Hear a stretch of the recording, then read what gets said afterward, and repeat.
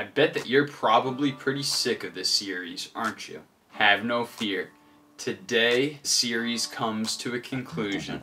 This is going to be my last video in the entire restoration of these Jordan 8 Ice Blues. If you haven't seen the sequence of videos before, I highly suggest that you go check out all the work that I've been putting into these things. Today we are about to put the final touches on them with a nubuck redye and a repaint of the midsoles. Now I've never done either of these things before. It's gonna be a pretty interesting process. What I'm gonna start off with is doing the uppers and the suede dye first. As you can tell with these, the original color that you can see underneath the straps there is a lot of a deeper blue than this faded out nubuck. We're gonna be trying to dye all of that nubuck to be the same exact color as underneath the strap there. It's a pretty drastic difference if you ask me. And the first step is going to be the step that I am looking forward to the least, which is trying to color match that blue to the best of my abilities. In order to do this, I have three different Angelus suede dyes. I have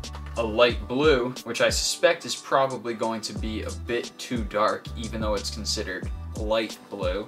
I have an Angelus neutral to try and wash out the blue color. And lastly, I have a gray suede dye. This is because you can tell there's a little hint of gray within that ice blue color. What I'm going to be doing is mixing and matching these dyes in different proportions into some shot glasses and I'll be utilizing this shirt to try the dye and see how close I get in color. Once I have something that I'm satisfied with, I'll go ahead and let her rip. I tried to color match as best as I could by measuring out the different proportions of the dyes that I was using.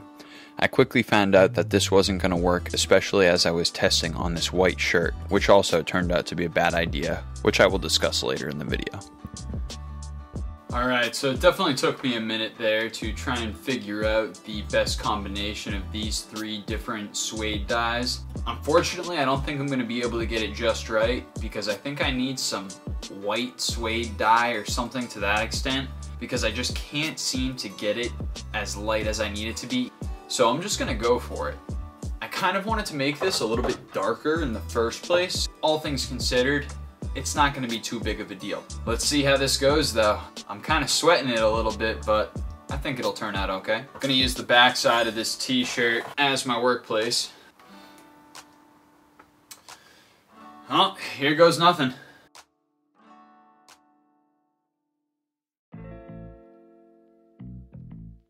So what I'm realizing as I apply this that I didn't take into account was the base color of the nubuck. The base color of the nubuck is definitely altering how this dye is turning out, but it actually looks halfway decent, so I'm just gonna keep on going with it because there's not much more I can do at this point in time.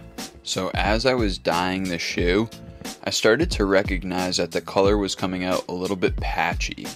I tried my best to even it out, but it just didn't really seem to be working for me.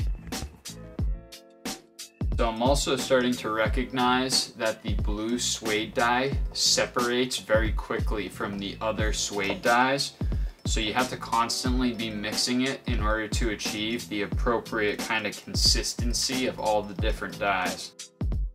Now, in hindsight, I recognize that I was more than likely applying the dye a little bit too heavy onto these kicks, and that could have easily been one of the reasons why the color came out so uneven, is just because I was using way too much pressure while utilizing the brush. This is 100% a very time consuming process. I have to keep remixing the suede dye because the colors keep separating. Overall, the color is definitely not what I was expecting it to be and it's seeming to come in a little bit patchy because of the lack of consistency of the suede dye due to the need to continue to mix it. But what do you do? I'm gonna keep trucking on. Instead of utilizing a paintbrush approach on the left shoe, I actually used more of a dabbing approach where I just dabbed a little bit at a time to try and use a little bit less dye for this shoe. It didn't really work any better. I think next time, if I have a better consistency and a paintbrush, I'll get a much smoother and neater application. As you can probably tell by watching that, this did not go exactly as according to plan. This was really tough. I realized that with a, as I was working, I realized that with a manual application of the suede dye, it was really hard to get an even coat.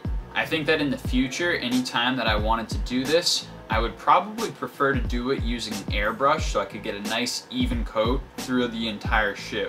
I would definitely take a lot more time with prep work and try to make sure that everything I didn't want to get hit with the dye was taped off 100% because I didn't realize, but the dye actually dyed the midsoles and the outsoles ever so slightly in a few parts. Let's take a quick look.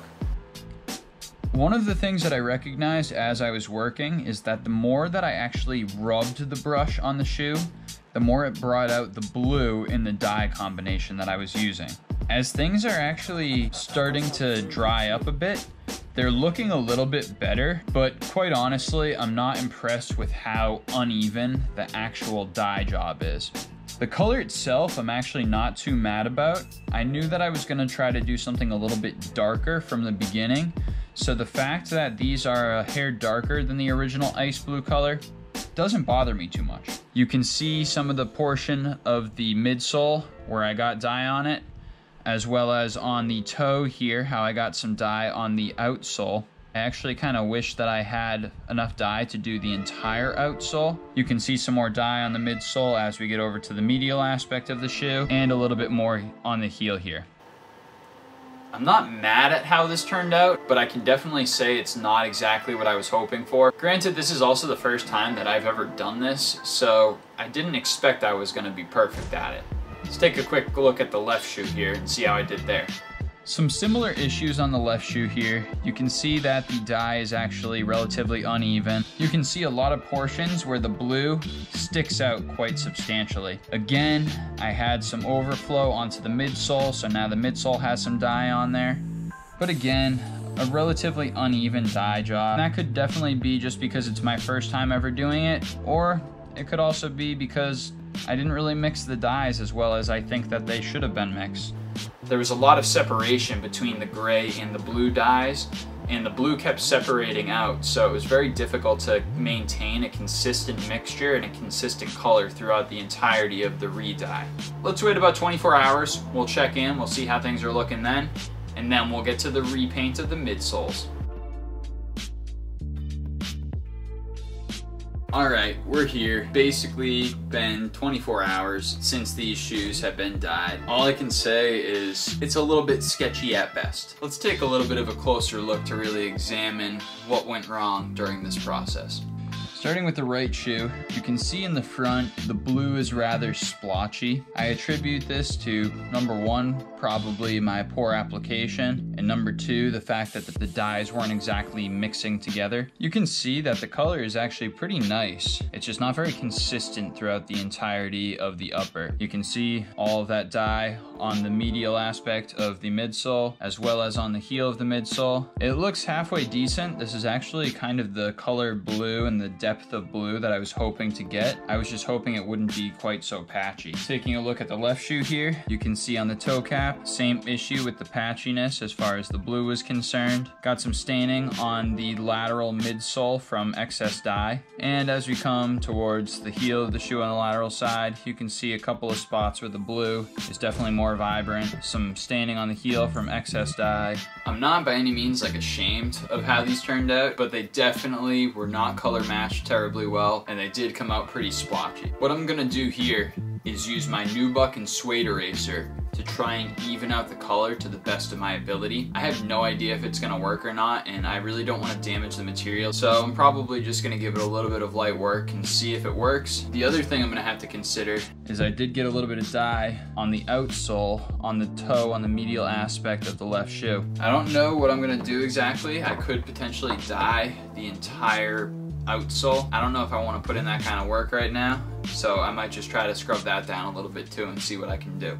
I went ahead and hit it with the Suede and Nubuck eraser for a couple of minutes, and while it didn't help to blend the colors, it definitely did make the Nubuck look like it had a little bit more life to it. So to be honest with you, I can't tell if these look any better or any worse or pretty much exactly the same. We'll take a quick look just for comparison's sake.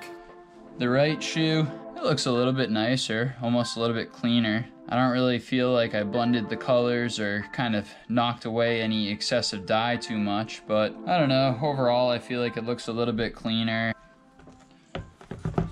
Left shoe, pretty much the same exact case. Nothing too wild and crazy going on, but it looks a little bit cleaner overall.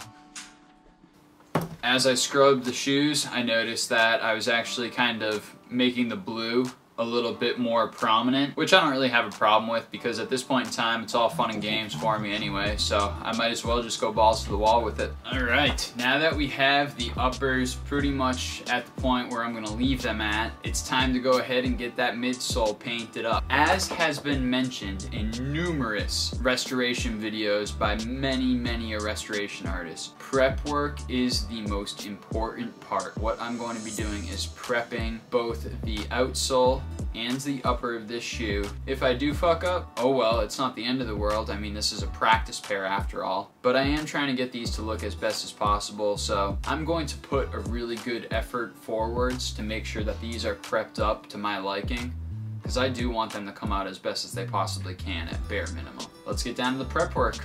Really boring, but gotta do it. Unfortunately, taping for prep work can be one of the most tedious parts of the job, but like I said, it's one of the most important, so I had to make sure that I gave it a really good effort. In hindsight, I probably could have done it in a little bit shorter period of time, but I'm pretty happy with the way that things turned out. Alright, I am done with the prep work. Quick little glance at these just so you can see exactly how I taped them up. You can see I did a pretty thorough job. I really took my time with this because after what happened with the suede dye, I really want to make sure that I get this repaint as perfect as I possibly can. So I really went in and tried to make the tape form-fitting to both the outsole and the uppers as much as possible. Another example here on the left shoe, you can see I used multiple small little pieces of tape to try and make this right on point so that I will have no overflow of these paints. Originally, when I had bought my paints, I had this feeling that I was going to need to mix some sort of metallic looking paint along with the traditional gray paint. I ended up picking up this Glitter Lights. Glitter Lights gunmetal as well as this gray acrylic paint from Angelus. Little did I realize on the website there was a metallic, so I went with the metallic pewter, and that is going to be the color that I will use on this specific repaint. The other color that I will be utilizing for this repaint will be this white from Angelus. I'm just using the standard white because on the original shoe, this was a glossy sort of finish. I'm really hoping that I can do a halfway decent job on this repaint here. That way, these shoes will come out looking halfway decent, or at least better off than they were to begin with, with a little bit of the sailboat spin. All I know now is it's time to get into the repaint on these sneakers. Unfortunately, a bunch of footage from the repaint actually got lost and deleted somewhere in translation over to the computer, but you can see the basic premise of what I did with the shots here. You'll notice that I did use my rotary tool during several different occasions, because I found out that there were some imperfections on the midsole that were actually causing the paint job to look a little bit more uneven. So I just decided to even out those spots to make it look a little better. The repaint was a little bit difficult because the midsoles were more pitted than I realized, but overall, didn't come out too bad. Almost there, probably about 95% of the way done with this project, I would say. Definitely a few hiccups along the way. Let's take a quick little look before I get down to the final touches.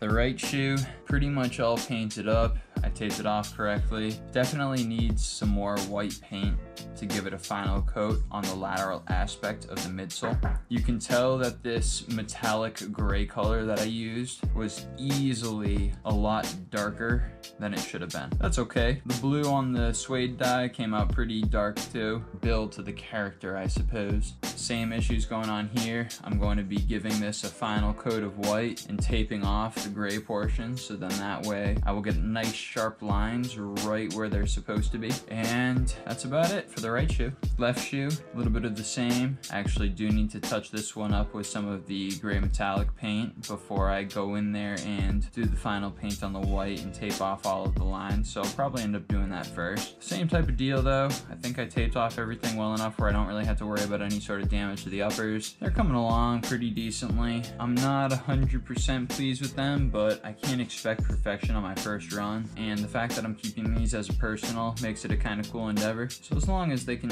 stay together and I have a little bit of character to them, I think that it's definitely a win overall. Gonna finish painting these suckers up, figure out what we can do. Let's make them look as crisp as we possibly can. Although this was one of the smallest parts of the project as far as size was concerned, it was also one of the most time consuming parts of the project.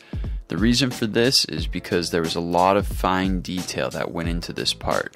A lot of just making sure that all of my lines were incredibly even, taping over and then cutting out using an X-Acto knife, trying to make sure that everything just looked as crisp as it possibly could for as old and beat up as the shoe was. Like I said, it was a little bit challenging to try and get even coats of paint due to the fact that the midsoles were a little bit more porous than I had previously anticipated and they were a little bit more pitted. However, I think I did a halfway decent job getting at least an even coat of paint on, it just might not be the exact original color as the original shoe was.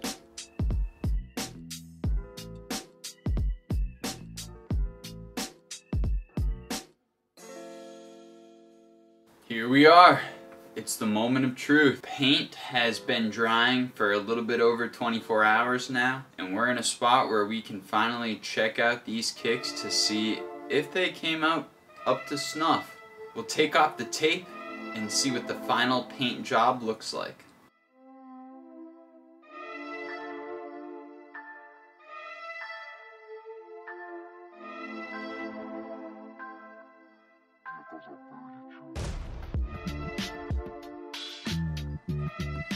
So on the right shoe here, the repaint came out okay. I can definitely see why they say prep work is key. I struggled the most at the junction of the metallic gray into the white portion here. And as you can see with the white portion, as I pulled up some of the tape, the paint came right up with it. So I will need to touch up the white paint I will need to touch up the lines in between the white paint and the gray metallic paint there. The gray metallic on its own actually came out halfway decent. It's a little bit darker than the traditional, but based off of the fact that the whole entire shoe is a lot darker than the original, I think that's okay. You can see over here with the white paint, somewhat of a struggle trying to get a nice even coat, especially after I pulled off the tape. You can see that my lines again between the white paint and the gray metallic paint still aren't as smooth as they could be. I got a couple of things that I definitely need to touch up, but overall, it's okay. Not great, not awful. Leaves a little bit to be desired, but for a first repaint, not too, too shabby. On to the left shoe now.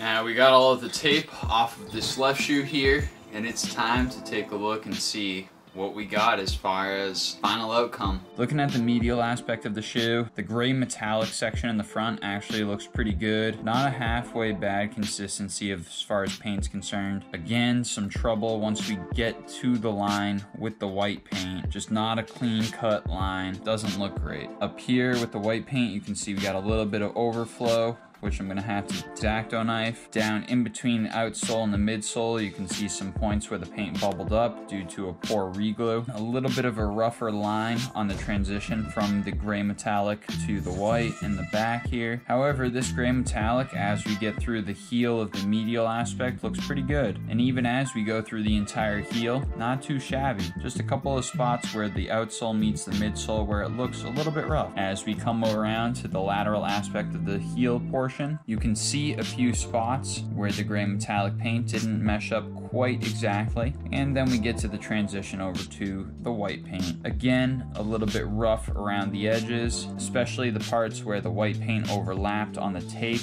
and the tape actually physically pulled off some of the white paint, such as right through this section right here. A rougher line, transition from the white to the metallic gray, and then we also have some portions where that metallic gray paint came onto the outsole due to poor preparation up on the lateral aspect of the toe box there. I got a few final touch-ups that I need to do on this pair of kicks before I can consider them complete. And I don't know that they'll ever be exactly what I expected or wanted them to be. But I'm pretty happy with the fact that I did put in the effort to, to give an entire full restoration on this pair of kicks. They turned out okay for somebody who's never restored a pair in its entirety before. Some of the stuff that I thought was going to be really challenging turned out to be a little bit easier in hindsight. Some of the stuff that I thought was going to be a little bit easier just so happened that that was the more challenging aspect of these sneakers than I anticipated. At any rate, I got a fresh new pair of personal kicks to add to the collection. Hopefully, with the final touch-ups,